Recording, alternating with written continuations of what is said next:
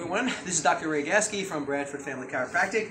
We are on our third part of the three-part series for posterior shin splints. Right now we're going to be finishing this off with a little bit of kinesio tape.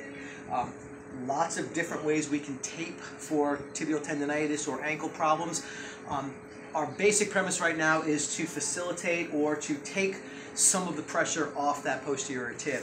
So I'm just going to be using one basic strip and we're going to be going the pathway of the posterior tib and I'm going to actually hook it around to the top of the foot to give it a little bit more support.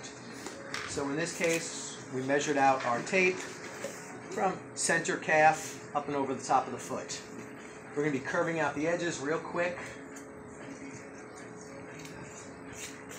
And we're going to start right down over here, about mid portion of the medial lower limb, rubbing that down, and we're going to be taking this tape. Now, I'd like to put this muscle into a little bit of a stretch. So if we could, we're going to take that foot and bring it up and out to stretch out that posterior tib. Very little stretch on the tape. So we're going pretty much just a basic neutral tape going up and around onto the top of the foot. Now, we're, again, we're hoping this tape anchors and facilitates that posterior tib to maybe in the next couple of days and weeks take some of the pressure off the work that that posterior tib is doing.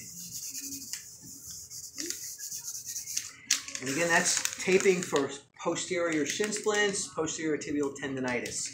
Uh, Dr. Ray with Jerica at Bradford Family Chiropractic. Thank you.